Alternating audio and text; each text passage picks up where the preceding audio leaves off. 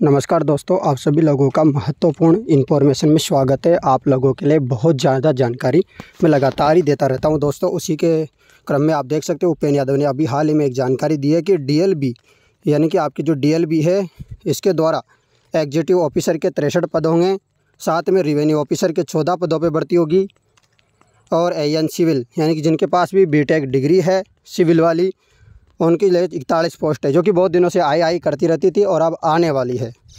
विभिन्न भर्तियों की अभ्यर्थना जून महीने में आरपीएससी को भिजवा दी गई थी, लेकिन आरपीएससी ने डीएलबी से कुछ सिलेबस सहित कुछ जानकारियाँ पत्र भेजकर मांगी थी, जिसका जवाब आरपीएससी को शुक्रवार को भिजवा दिया गया है। शुक्रवार को जवाब मिल गया है आरपीएससी को।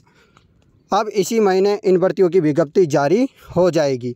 तो ये जानकारी आप लोग देख सकते हैं। इसी महीने आपका नोटिफिकेशन जारी कर दिया जाएगा एग्जीक्यूटिव ऑफिसर का रिवेन्यू ऑफिसर का और ए पदों का, तीनों के लिए।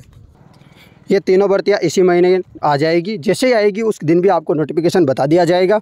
आप लोग इस वीडियो को ज़्यादा से ज़्यादा शेयर कीजिए ताकि हर विद्यार्थी तक हमारी इन्फॉर्मेशन पहुँच सके और उनको पता लग सके कि उनकी जो है तीनों भर्तियाँ आ रही है। जो भी इन भर्तियों की तैयारी कर रहे हैं, वो अपनी तैयारी में जुट सकते हैं। धन्यवाद मित्रों।